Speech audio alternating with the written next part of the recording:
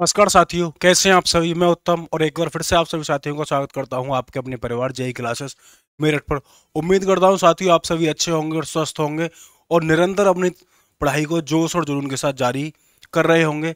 साथियों, हम हिस्ट्री में बात कर रहे थे तुगलक वंश के बारे में, जो कि दिल्ली सल्तनत का एक ऐसा वंश है, जिसने दिल्ली सल्तनत पर सबसे अधिक समय तक शासन किया। तो आइए जानते हैं कि दिल्ली सल्तनत है ना दिल्ली सल्तनत पर पहला वंश किस वंश ने शासन किया? तुगलक सॉरी गुलाम वंश, जैसे हम मामलूक वंश के भी नाम से जानते हैं।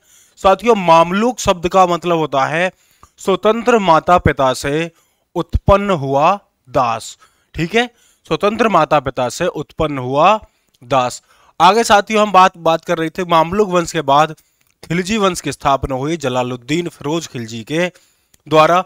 साथियों, हमारी स्क्रीन के सामने है मोहम्मद बिन तुगलक और इस वंश की स्थापना किसने की थी? खिलजी वंश के अंतिम शासक या फिर वो कुछ समय के लिए शासक बनने की चेष्टा की थी खुसरो शाह खुसरो शाह की हत्या करने के बाद एक उसका सेनापति हुआ करता था कौन? तुगलक गाजी, यानी गयासुद्दीन तुगलक। गयासुद्दीन तुगलक ने साथियों, किस वंश की स्थापना की थी? तुगलक वंश की स्थापना की थी। और साथियों, दिल्ली सल्तनत के शासकों में सबसे पहले सिंचाई के लिए नहरें बनवाने का काम किया था। इसी शासक ने और लगभग साथियों, कब? 1325 ईस्वी में इसके पुत्र द्वारा स्थित दिल्ली के अफगानपुर के निकट लकड़ी के महल में दबकर साथियों क्या हो जाती है? इसकी मृत्यु हो जाती है। सॉरी। चलिए साथियों, आगे जानेंगे इसके बारे में। हम बात कर रहे थे मोहम्मद बिन तुगलक और हमने जाना कि तुगलक वंश की जो स्थापना की थी, वो किसने की थी? मोहम्मद बिन तुगलक के सॉरी गयासुद्दीन तुगलक के द्वारा की गई थी। अब हम जानेंगे यहाँ पर मोहम्मद बिन तुगलक के बारे में। मेरे प्यारे बच्चों, किसके बारे में जानेंगे? मोहम्मद बिन तुगलक के बारे में जानेंगे। ठीक है, चलिए। पेन लिए लिए ले कौन सा ले? पिंक ले। ठीक, चलो। अब यहाँ पर हमने देखा, साथियों, इस व्यक्ति का वास्तविक नाम क्या था? फकरुद्दीन या फिर इस व्यक्ति को जोना खा के नाम से जानते थे। गद्दी पर यह मोहम्मद बिन तुकलक के नाम से बैठा था। तो गद्दी पर किस नाम से बैठा था, मेरे प्यारे बच्चों? मोहम्मद बिन तुकलक के नाम से गद्दी पर बैठा था। दिल्ली सल्तनतों काल के शासकों में सबसे अधिक विद्वान, सबसे अधिक पढ़ा लिखा और सबसे अधिक कानून का ज्ञाता बोल सकते हैं, या फिर कुशल व शिक्षित शासक था, लेकिन इसके साथ बहुत सारी ट्रेजेडी हुई और ये दिल्ली सल्तनत को ठीक तरह से संभाल नहीं पाया, है ना? चलिए। 1333 में इसके दरबार में मोरक्को निवासी कौन आता है? मोरक्को यात्री आता है इब्न बबूता। उससे ये बहुत ज़्यादा क्या होता है, मेरे प्यारे बच्चों? प्रभावित होता है, और जब ये इससे बहुत ज़्यादा प्रभावित होता है तो उसे क्या नियुक्त कर लेता है? का अपना काजी नियुक्त कर लेता है जैसा कि आप स्क्रीन पर देख पा रहे होंगे। ठीक है चलिए। इब्न बबूता की जो पुस्तक है वो कौन सी है? रहला।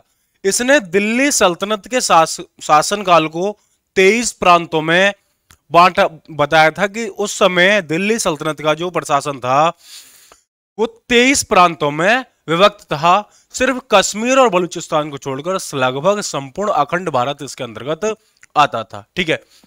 चलिए। आगे साथियों, यहाँ पर इसने सबसे पहला काम क्या किया कि दोआब क्षेत्र में इसने कर वृद्धि करी। इसके कुछ राजनीतिक, प्रशासनिक कार्यों के बारे में बात करेंगे। क्या किया था मेरे प्यारे बच्चों?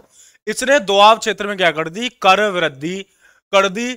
साथ ही साथ, दोआब क्षेत्र में कर वृद्धि करने के साथ, इसके साथ बहुत बड़ी घटना घटित हुई।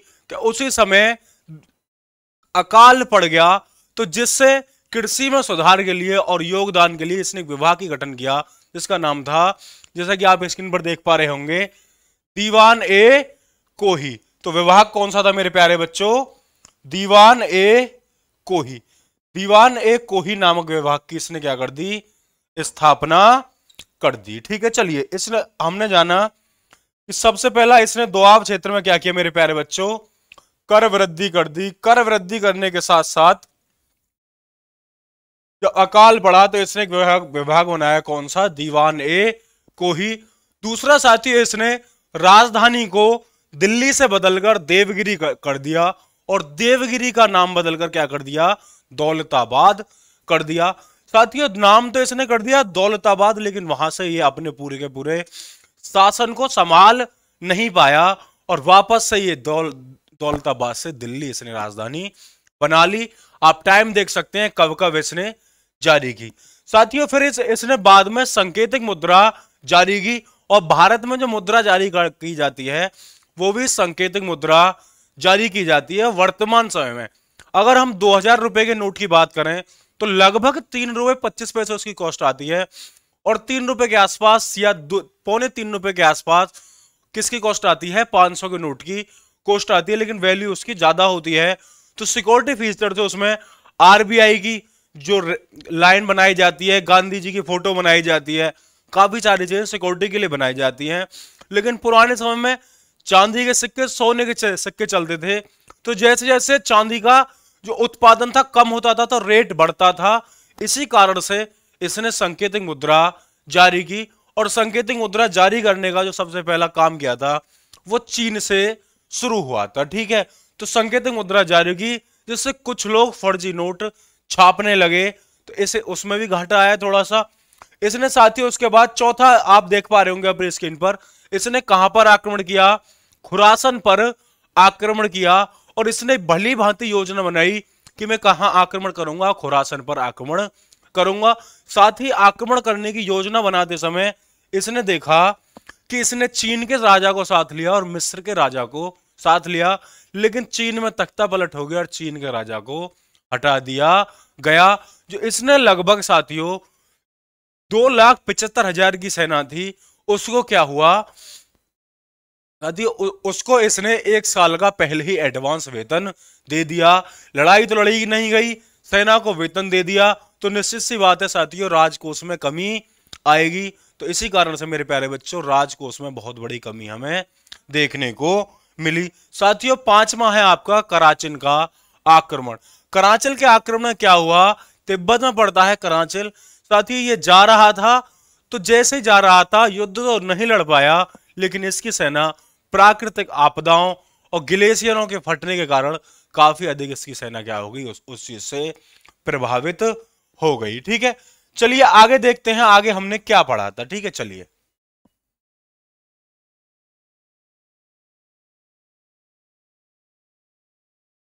साथियों, इसके समय पर ही विजयनगर साम्राज्य, जो हरिहर बुक्का हसन गंगू ने बेहमानी साम्राज्य और मदुरई जैसे स्वतंत्र राज्यों की स्थापना हुई।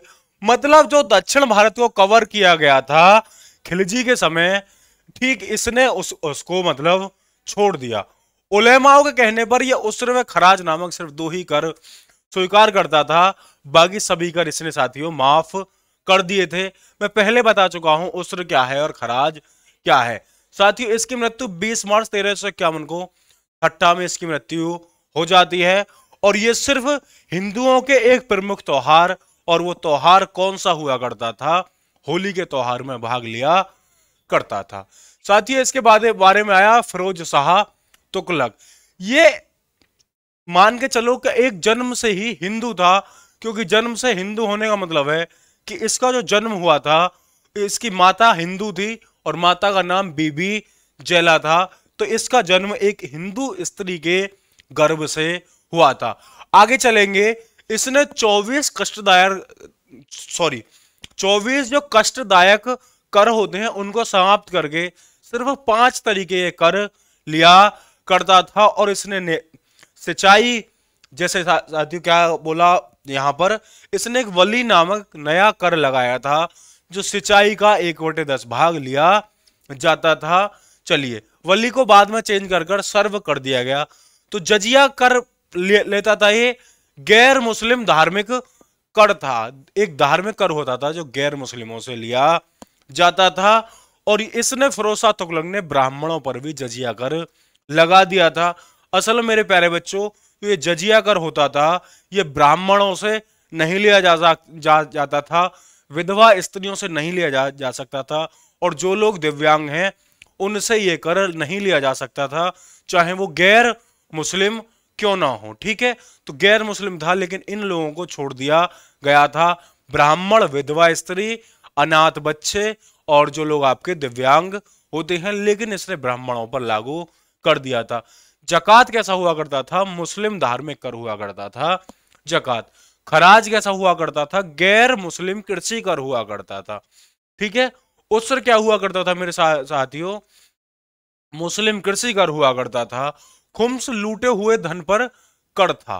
कैसा था? खुम्स लूटे हुए धन पर कर था। साथियों, इसका जो खुम्स कर हुआ करता था, मैं आपको अगर थोड़े छोटे कम शब्दों में बताने की कोशिश करूँ जो खुम्स हुआ करता था मेरे प्यारे बच्चों, ये जो था लगभग चार वटे पाँच, जैसा कि आप जानते हैं, चार बटे पाँच जो था, ये सैनिकों के पास रखा जाता था। और इसका जो बाद में भाग बचता है, एक वटे पाँच, ये रखता था राजा। लेकिन ऐसा था पूरे दिल्ली सल्तनत में प्रशासक, है ना? ये राजा रखता था, ये रखता था सेना। लेकिन दो शासक हुए साथियों, कौन से? एक तो ये मोहम्मद बिन तुगलक, मोहम्मद बिन तुगलक और एक हुआ आपका अलाउद्दीन अलाउद्दीन खिलजी। तो इन साथियों दोनों ने क्या करिया? कर चार बटे पाँच हिस्सा ले लिया, ठीक है? तो चार बजे एक बटे पाँच दिया साथियों, सेना को। ये दोनों ऐसे शासक हुआ करते थे, ठीक है? अब नहीं होगा ना? है ना? वैसे हो जाता है। चलो, करना ही पड़ेगा, ठीक है? चलिए। आगे इसने 1200 बाग लगाए और पाँच नई नहरों का निर्माण करवाया। इसने प्रमुख नगरों की स्थापना की, जैसे कि हिसार, फिरोजा, जौनपुर फिरोजाबाद जो कि दिल्ली में पड़ता है, जो इसे सर्वाधिक प्रिय था। और इसने सैनिकों के पदों को वंशानुगत कर दिया। मैंने मतलब बताया था, वंशानुगत का, मेरे प्यारे बच्चों, या तो अगर कोई किसी का दादा है तो बेटा जा सकता है, बेटा है तो नाती जा सकता है। और अगर उसके परिवार में दामाद है और कोई और नहीं है तो वो अपने गुलाम को भी भेज सकता है। मतलब आप समझ सकते हैं, इसकी असफलता का मुख्य कारण क्या था कि नए और कुशल सैनिकों की इसने रोक लगा दी थी। अभी आर्मी, पुलिस फोर्स अगर ऐसा कर दिया जाए कि क्या कर दिया है सेना के पदों को वंशानुगत कर दिया जाए तो अनट्रेंड युवा जो कि बुरी तरह से फिट नहीं है। साथियों, देखो, एक जब पढ़ने वाले बंदे आते हैं, ठीक है, पढ़ने वाला बंदा बहुत ज़्यादा होशियार है बंदा, ठीक है गाँव में एक पढ़ने वाला बंदा होता है कि भाई, गाँव का सबसे होशियार बंदा है और बड़ी तारीफ़ होती है उस बंदे की, ठीक है, लेकिन असली खेल अभी शुरू होता है। गाँव से पहुँचा, स्कूल स्तर में स्कूल से उससे ऊपर बढ़ेंगे स्कूल से पहुँचा वो ज़िले में तो ज़िले में और मिलेंगे। मान के चलो कोई ऐसी वैकेंसी में फाइट करने लगा कि जहाँ पर सिर्फ़ सौ हैं। तो इस अगर यूपी से ही बात कर लो, अगर तुम देश में नहीं जाओ तो 20 से 25 करोड़ 21 से 25 करोड़ की पॉपुलेशन में लगभग 23-24 करोड़ की प्रेजेंट टाइम पर यूपी की पॉपुलेशन है। अगर लगभग 60 परसेंट आबादी माने तो 60 परसेंट युवा है। अगर वो 10 करोड़ से अधिक मान मान के चलो, कि 14 लाख 15 लाख फार्म भर दिए जाते हैं कभी कभी 100 वैकेंसियों के लिए। ठीक है? तो अगर वो वहाँ पर वो बंदा फाइट करने लगा तो कैसी किस्मत होगी उसकी? ठीक है? फिर जो उसका होशियार है, गाँव स्तर तक, क्योंकि उससे बड़े बड़े तेज और धुरेंद्र उसे वहाँ पर मिलेंगे, ठीक है? है ना? तो ऐसा नहीं है कि नए सैनिकों को वंशानुगत, नए सैनिकों को मौका नहीं दिया जाना चाहिए। देखो, आप गाँव में सबसे होशियार है, मैटर नहीं करता, ठीक है? आप ज़िले में सबसे होशियार है, मैटर नहीं करता। जब वैकेंसी आती है ना मेरे प्यारे बच्चों, अगर आई एस पी की बात करें तो ज़िले में एक बनता है, ठीक है? पीसीएस की बात करें तो ज़िले में तीन बनते हैं। अगर जेई की बात करें तो दस बनते हैं पूरे ज़िले में, है ना? दस से बारह, पंद्रह। लेकिन आपको उस दस से बारह, पंद्रह में एक बात सोच के दिखाई देनी है कि अगर एक ज़िले से एक कैंडिडेट भर्ती होगा, या एक प्रदेश से एक कैंडिडेट भर्ती होगा तो वो मैं होऊँगा। मैं देखूँगा कि मेरे से ज़्यादा मेहनत कोई आखिर कैसे कर सकता है, ठीक है? तो दिन रात लग जाओ, खाना छोड़ दो, पीना छोड़ दो, सब कुछ छोड़ दो, ठीक है? दिन रात पढ़ाई पे लग जाओ और ज़्यादा ज़्यादा टाइम जो बर्बाद कर रहे हो ना, वो कम कर दो, ठीक है? चलिए चलते हैं आगे, सैनिकों के वंशा इसने कल्याणकारी राज्य की स्थापना के लिए बहुत सारे कल्याणकारी कार्य किए। इसने दीवाने बंदगान नामक एक विभाग की स्थापना की, जो कि मजदूरों के लिए था। दीवान खैरात नामक एक विभाग की स्थापना की, जो विधवा व अनाथ स्त्रियों के लिए होता था, उनके रखरखाव रोज़गार दफ्तर खुलवाए, दारुल सिफा एक अस्पताल खुलवाया और दीवाने इम्तहाक एक चीज़ खुलवाई, ठीक है? चलिए, इसने जगन्नाथ मंदिर पर आक्रमण किया और धार्मिक ग्रंथों को लेकर ये चला गया, ठीक है? नगरकोट पर आक्रमण किया, लेकिन मेरे प्यारे बच्चों, ये पूरी तरह से विफल साबित हुआ। अशोक के शिलालेखों को यह व्यक्ति मेरठ व टोपरा से लेकर कहा आया था? दिल्ली आया था, है ना? अशोक के शिलालेखों को मेरठ व टोपरा से लेकर दिल्ली आया था। अगर आपको बता बता के चलें कि टोपरा का जो स्तंभ लेख है वो साथियों कहाँ पर है? तो कहाँ पर पड़ता टोपरा कहाँ पर है? अंबाला। अंबाला। हरियाणा के अंदर पड़ता है, टोपरा वाला स्तंभ लेख ठीक है, चलिए। आत्मकथा इसने हमने लिखी, तारीख ए फिरोज जो इसने स्वयं लिखी थी। चलिए। है ना?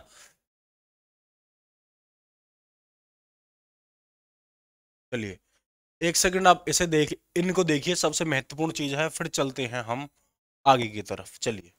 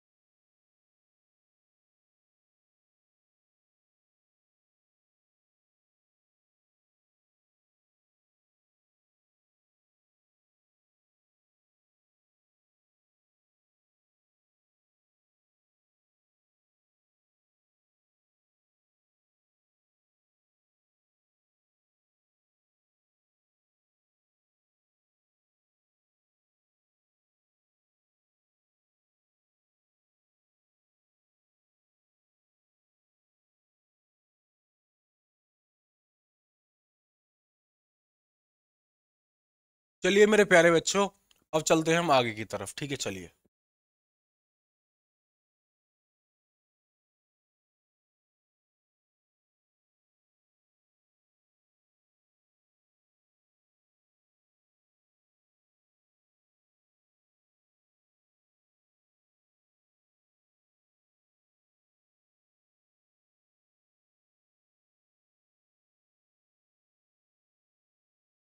चलिए।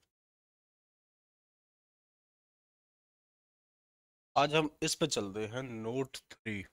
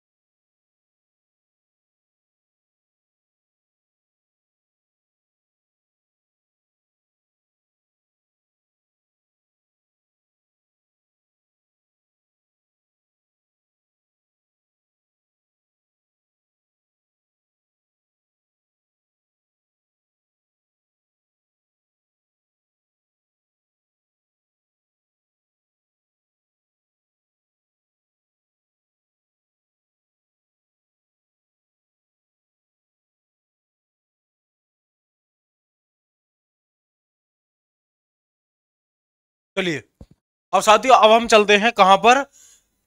अब कुछ इंपोर्टेंट मतलब तीन से चार फैक्ट हैं किसके? फिरोज शाह तुगलक से जुड़े हुए।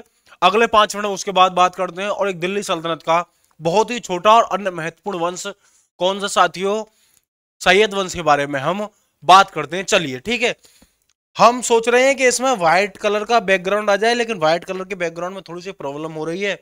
तो उसमें थोड़ा सा मैं देख पा रहा हूँ, जैसा भी है लेकिन कोई बात नहीं, हम इसी पे करेंगे, ठीक है? तो हम करेंगे इसी पर, ठीक है? चलिए।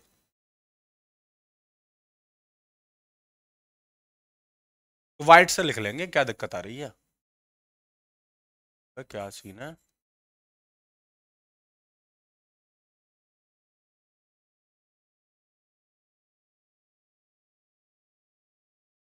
लिख दिया?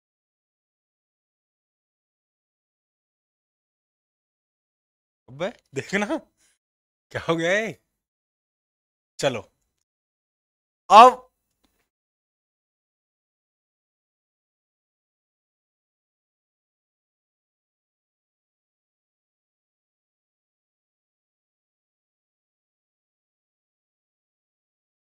बात ना। इस पे चलाएँगे ही ना, ठीक है?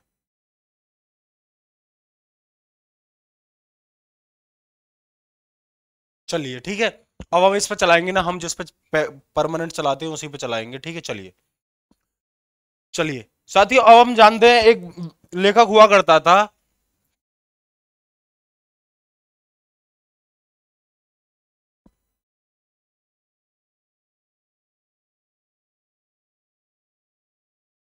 याहिया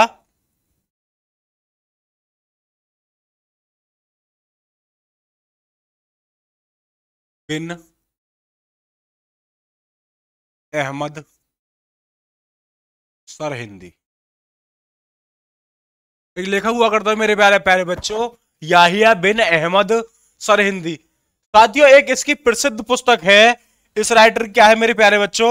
एक सॉरी प्रसिद्ध पुस्तक है, कौन सी? तारीख ए मुबारक शाही। कौन सी? तारीख ए मुबारक शाही तो कौन सी पुस्तक है मेरे प्यारे बच्चों?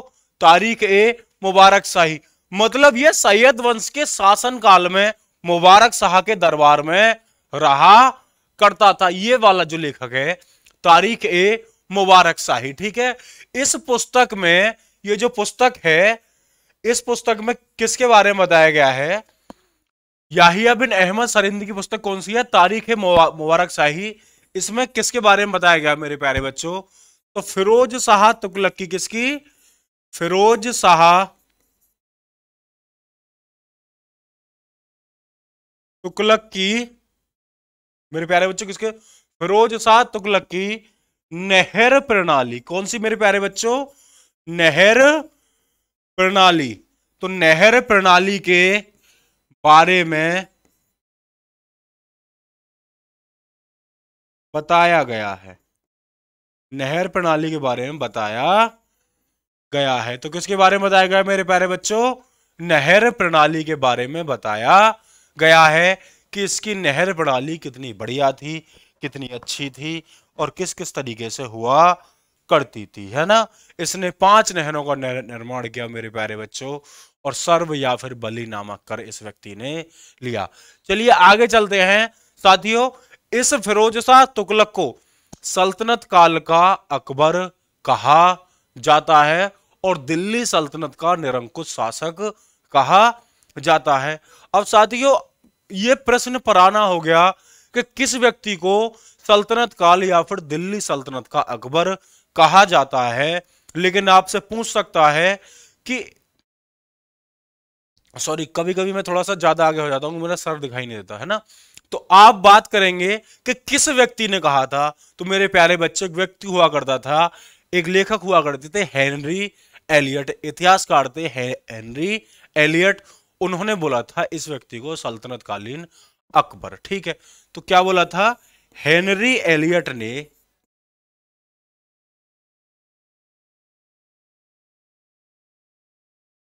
इसे दिल्ली सल्तनत के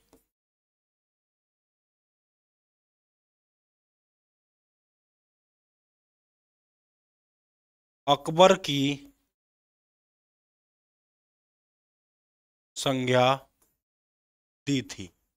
किसकी संज्ञा दी थी मेरे प्यारे बच्चों? दिल्ली सल्तनत के अकबर की संज्ञा दी थी। और इसे क्या बोला जाता था? दिल्ली सल्तनत का निरंकुश शासक। निरंकुश शासक कहा जाता था। तो क्या कहा जाता मेरे प्यारे बच्चों? दिल्ली सल्तनत का निरंकुश शासक कहा जाता था। किस व्यक्ति को? तो दिल्ली सल्तनत का आपका निरंकुश जो शासक हो जाएगा मेरे प्यारे बच्चों। वो कौन हो जाएगा?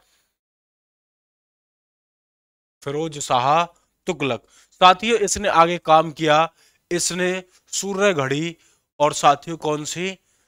पानी वाली घड़ी भी लगवाई, है ना? जिसे हम जल घड़ी के नाम से जानते हैं। तो इसने क्या लगवाई? सूर्य घड़ी और पानी, सॉरी, जल घड़ी का भी निर्माण इसी ने कराया। तो पूछा जाएगा कि सूर्य घड़ी और पानी घड़ी का किसने लगवाया था? तो इसी ने लगवाया था, है ना? कौन सी सूर्य घड़ी व चल घड़ी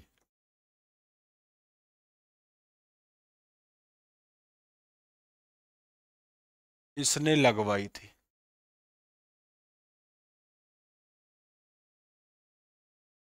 अब साथियों, मुझे बताएँगे सूर्य घड़ी व जल घड़ी इसने लगवाई थी। अच्छा सूर्य घड़ी कहाँ पर है? मेरे प्यारे बच्चों, सूर्य घड़ी और जल घड़ी कहाँ पर है? बात आएगी ना, इसने लगवाई, लेकिन कहाँ लगवाई? तो मैं आपको बताना चाहूँगा, एक सवाल आपके लिए, एक मैं बताता हूँ, ठीक है? तो सूर्य घड़ी के बारे में बताता हूँ, जल घड़ी आप बताएँगे, जल घड़ी कहाँ पर लगी है? दिल्ली में जब आप जाओगे कुतुब मीनार परिसर में तो कुतुब मीनार परिसर में जैसे ही आपको एंट्री करेंगे तो लेफ़्ट हैंड पर एक गार्डन है, उसमें थोड़ा सा अंदर जाएँगे तो वहाँ पर लगी हुई है सूर्य घड़ी और भली भांति लिखा गया है उसको, ठीक है? सूर्य घड़ी क्योंकि फिरोज शाह तुगलक ने ही कुतुब मीनार का बाद में निर्माण कराया था, ऊपर वाली मंजिल को ठीक कराया और शेष दो मंजिलों का निर्माण कर, करवाया, ठीक है? चलिए। अब साथियों, इस व्यक्ति का जो उत्तराधिकारी हुआ करता था, वो कौन सा हुआ करता था? तुगलक शाह उत्तराधिकारी हुआ करता था। तो इस व्यक्ति का जो उत्तराधिकारी हुआ करता था तो वो कौन सा हुआ करता था? तुगलक शाह। तो यहाँ पर बात करेंगे साथियों, तुगलक शाह के बारे में थोड़ा सा जान लेंगे, ठीक है? कोई दिक्कत वाली बात नहीं है, लेकिन एक सीधे रेस में जानेंगे, अब यहाँ पर जानने की आवश्यकता हमें नहीं है, ठीक है? चलिए। तो हम थोड़ा सा अगले पेज पर बात करते हैं, ठीक है? या फिर इसे मिटा दें एक बार? चलो, अगला पेज ले ले, कौन सा हमारा कुछ खर्च हो रहा है, ठीक है? चलिए। देखो, यहाँ पर हमने जाना किसके बारे में? सॉरी। गयासुद्दीन तुगलक। कौन सा मेरे प्यारे बच्चों? गयासुद्दीन तुगलक। शासन कब से कब तक किया? 1325 से 1300 सॉरी 1320 से 1325 ईस्वी। ठीक। इसके बाद दूसरा शासक आता है मेरे प्यारे बच्चों, और दूसरा शासक कौन सा आता है आपका? मोहम्मद बिन तुगलक। तो बिन तुगलक लिखेंगे सिर्फ़ बिन तुगलक। कितने वर्षों तक शासक करता है? 1325 से तेरह सौ इक्यावन ईस्वी। मैं सारे शासक करा रहा हूँ, ठीक है? यहाँ पर देखेंगे साथियों कौन सा आएगा। फिरोज शाह तुगलक। कौन सा मेरे प्यारे बच्चों? फिरोज शाह तुगलक। दिखाई दे रहा होगा ना? फिरोज शाह तुगलक। तेरह सौ इक्यावन से तेरह सौ अट्ठासी। चलिए। इसके बाद आता है साथियों मेरे प्यारे बच्चों, तुगलक शाह।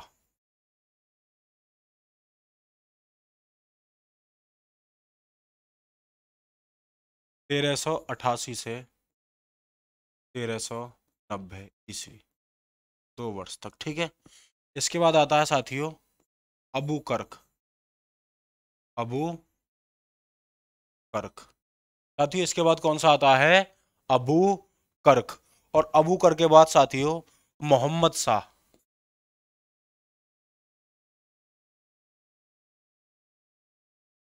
मोहम्मद शाह, है ना? और इसके बाद आता है साथियों आपका सिकंदर शाह। सिकंदर शाह, ठीक है? तो ये लगभग आठ वर्षों तक शासन करते हैं तो तेरह सौ नब्बे से तेरह सौ अठानवे।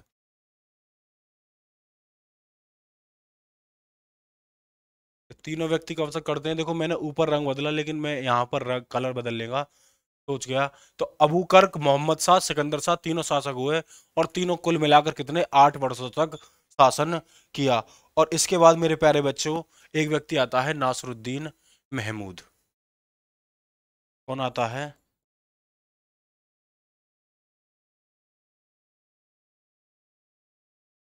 महमूद। तेरह सौ अठानवे ईस्वी से चौदह सौ चौदह ईस्वी। कब तक? दिल्ली सल्तनत सॉरी तुगलक वंश का अंतिम शासक कौन सा हो जाएगा? यही व्यक्ति हो जाएगा, क्या हो जाएगा? तुगलक वंश का अंतिम शासक। तुगलक वंश का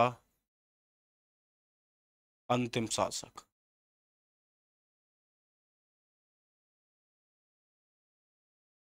तो ये आपके लिए ज़्यादा इंपोर्टेंट रखता है, तेरह सौ अठानवे से। तेरह सौ चौदह फिरोज शाह तुगलक, ये भी आपके लिए बहुत ज़्यादा इंपोर्टेंट है। ऊपर वाले दो के बताने की आवश्यकता नहीं है। तुगलक शाह अब साथियों, ये जो राइटर मैंने लिखवाए हैं, इसका क्या इंपोर्टेंस है ना? कभी नहीं बुझाएगा, कब से कब तक शासन किया, लेकिन रेयर केस में आपको सामने सवाल देखने को मिलता है कि निम्न में से कौन सा शासक तुगलक वंश का नहीं है। तो आप सिकंदर शाह मोहम्मद शाह को अगर किसी वजह से छोड़ दें, ठीक है? तो ये आपको अब नहीं होगा, क्योंकि मोहम्मद शाह और सिकंदर शाह नामक जो व्यक्ति थे, या फिर अबू कर्क नामक जो व्यक्ति था, वो किसमें तुगलक वंश के शासकों में से एक थे। नोट डाउन कीजिए इसे।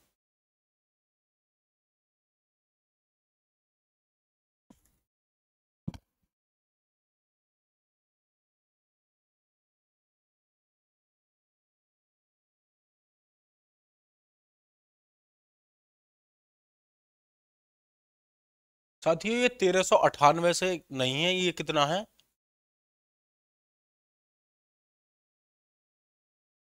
तेरह सौ पचानवे ईस्वी। पाँच वर्ष तक शासन किया था, है ना? और यहाँ पर पाँच कर लेंगे।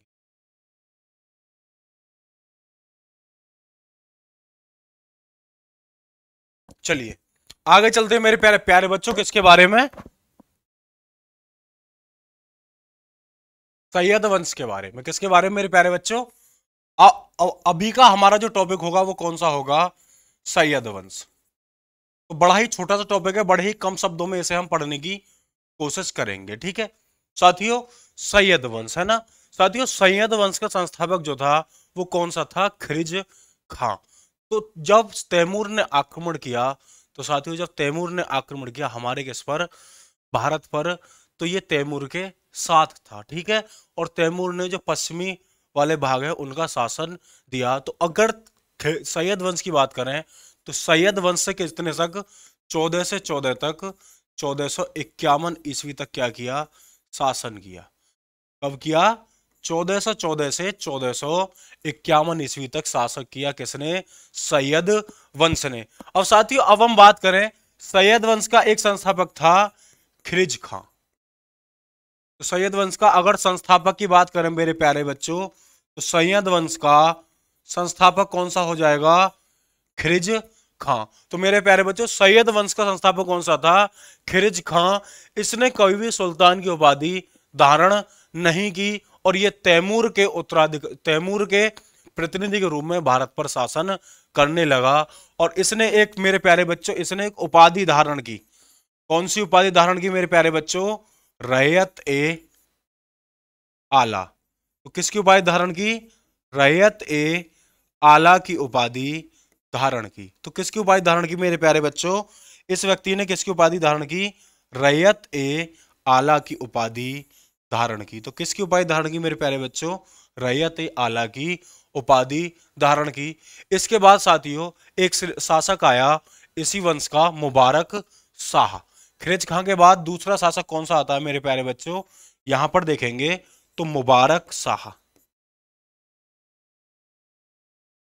अगर शासक की बात करें तो मेरे प्यारे बच्चों, कब से कब तक शासन किया? तो इस व्यक्ति ने 1414 से 1421 ईस्वी तक शासन किया, ठीक है? अब इसने कितने किया? 1421 से लेकर 1434 ईस्वी तक इस व्यक्ति ने शासन किया। तो कब से कब तक शासन किया मुबारक शाह ने? 1421 से लेकर 1434 तक शासन किया। क्यों फ़ेमस है? साथियों सॉरी क्यों फ़ेमस है ये व्यक्ति मुबारक शाह?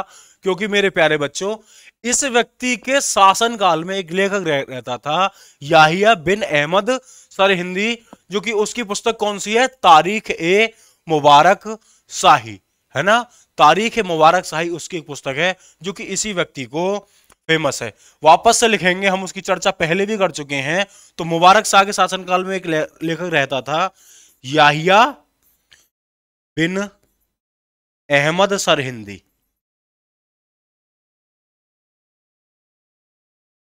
है ना? इसकी पुस्तक कौन सी है? तारीख ए मुबारक शाही। कौन सी मेरे प्यारे बच्चों? तारीख ए मुबारक शाही। तो इसकी पुस्तक कौन सी मेरे प्यारे बच्चों? तारीख मुबारक शाही, जो कि इसी व्यक्ति को समर्पित है। ठीक है तो किस किस व्यक्ति को समर्पित है?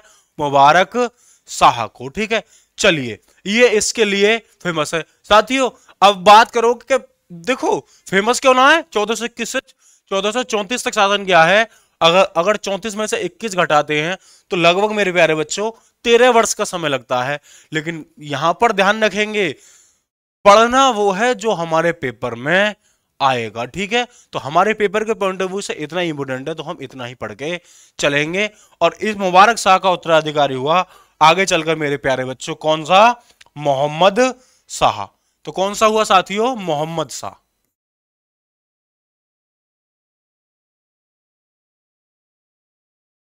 इस व्यक्ति ने 1434 ईस्वी से लेकर 1443 ईस्वी तक शासक रहा। इसके शासन काल में लोदी वंश का संस्थापक बहलोल लोदी रहता था ठीक है? इसके संरक्षण में रहता था कौन? बहलोल लोदी तो कौन रहता था मेरे प्यारे बच्चों? बहलोल लोधी। इसके संरक्षण में रह, रह, रहता था और इसने बहलोल लोदी को एक उपाधि दी थी खान ए खाना। खाने खाना की उपाधि धारण की थी और ये बहलोल लोदी से इतना अधिक प्रेम करता था कि अपने पुत्र के समान ये समझता था और अपना बेटा कहकर या पुत्र कहकर पुकारता था किसको बहलोल लोदी को, ठीक है? बहलोल लोदी के बाद इस वंश का शासक होता है साथियों कौन सा? अलाउद्दीन आलम शाह।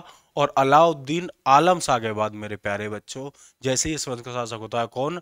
अलाउद्दीन आलम शाह। इस ये वंश जो होता है आपका, समाप्त हो जाता है। इसके बाद बहलोल लोदी लोदी वंश की स्थापना करता है, ठीक है? जो कि चौदह से लेकर 1526 ईस्वी तक जाता है और पानी के प्रथम युद्ध में समाप्त हो जाता है, ठीक है? तो मेरे प्यारे बच्चों, इस वंश का अगर हम अंतिम शासक की बात करें तो अंतिम शासक कौन था? कौन सा था मेरे प्यारे बच्चों? अलाउद्दीन आलम शाह।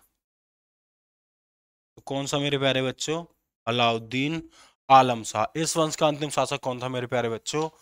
अलाउद्दीन आलम शाह। इस वंश का अंतिम शासक हुआ करता था। नोट करेंगे इसे।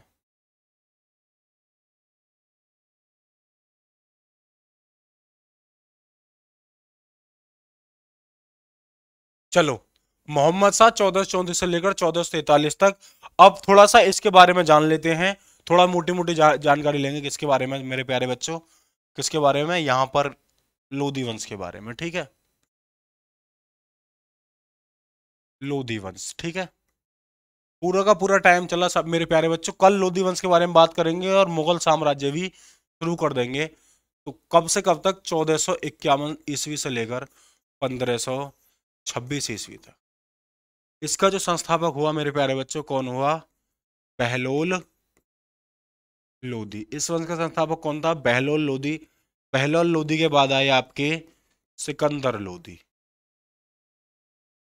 सिकंदर लोधी के बाद आए मेरे प्यारे बच्चों, इब्राहिम लोधी। इब्राहिम लोधी, ठीक है? सिकंदर सिकंदर लोधी के बाद कौन आया मेरे प्यारे बच्चों? इब्राहिम लोधी। तो साथ ही चलते हैं और अगले पाँच मिनट में देखते हैं हमने क्या क्या पढ़ाया फिर आज की क्लास को हम यहीं तक रखते हैं, ठीक है? चलिए। चलिए। देखो, याहिया बिन अहमद सरिंदी की पुस्तक तारीख ए मुबारक शाही, जिसमें फिरोजा तुगलक की नहर प्रणाली के बारे में बताया जाता है, और ये मुबारक शाह के संरक्षण में रहा करता था याहिया बिन अहमद सरहिंदी हेनरी एलियट नामक एक इतिहासकार ने इसे सल्तनत काल का अकबर की संज्ञा दी। ठीक है? ये इसे दिल्ली सल्तनत का निरंकुश शासक कहा जाता है, ठीक है? चलिए, आगे चलते हैं, इसने सूर्य घड़ी व जल घड़ी बनाई। आपके लिए मैंने बताया था कि सूर्य घड़ी कहाँ पर है? कुतुब मीनार परिसर में स्थित है, दिल्ली के मेहरौली में। और आपको बतानी है, ये जल घड़ी कहाँ है? क्या वही है या फिर और कहीं है? ठीक है, चलिए। गयासुद्दीन तुगलक, मोहम्मद बिन तुगलक फिरोज शाह तुगलक और तुगलक शाह बाद में उत्तराधिकारी हुए और इसके बाद, मेरे प्यारे बच्चों अबू कर्क मोहम्मद शाह, सिकंदर शाह ने तीनों ने मिलकर पाँच वर्ष तक शासन किया। इसके बाद तुगलक वंश का अंतिम शासक नासरुद्दीन महमूद, तेरह सौ से लेकर चौदह सौ चौदह ईस्वी लगभग उन्नीस वर्ष तक शासन करता है और यहीं पर खत्म होता है दिल्ली सल्तनत का सबसे अधिक समय तक शासक करने वाला वंश, तुगलक वंश। ठीक है, यहाँ पर बात करते हैं साथियों हम सैयद वंश के बारे में। तो चार प्रमुख शासक हुए खिज खान, दूसरा मुबारक शाह, पुस्तक है ये। और ये जो इसका उत्तराधिक हुआ करता था, तैमूर का शाहरुख के प्रतिनिधि के रूप में काम करते थे दोनों बाप बेटे, और इसने रहते आला की उपाधि धारण की थी। यहाँ पर हमने देखा इसके बाद मोहम्मद शाह हुआ ये बहलोल लोधी को अपना पुत्र कहकर पुकारता था और खाने खाना की उपाधि उसे प्रदान की थी। मतलब खाने का खान सभी मुस्लिमों में सबसे ऊँचा और इस वंश का अंतिम शासक कौन था, था अलाउद्दीन आलम शाह। साथियों कल हम किसके बारे में बात करेंगे? लोधी वंश के बारे में बात करेंगे। चौदह सौ इक्यावन से पंद्रह छब्बीस तक इसने शासन किया। तीन प्रमुख शासक हुए बहलोल लोधी सिकंदर लोधी और मेरे प्यारे बच्चों इब्राहिम लोधी। पानीपत के प्रथम युद्ध के बाद दिल्ली सल्तनत का पूरी तरह से अंत हो जाता है और फिर भारत में आता है मुगल एम्पायर, यानी मुगल साम्राज्य। तो साथियों, आज की क्लास को यहीं तक रखते हैं। मिलते हैं आपसे कल अगली क्लास में। Thank you thank you so much जय हिंद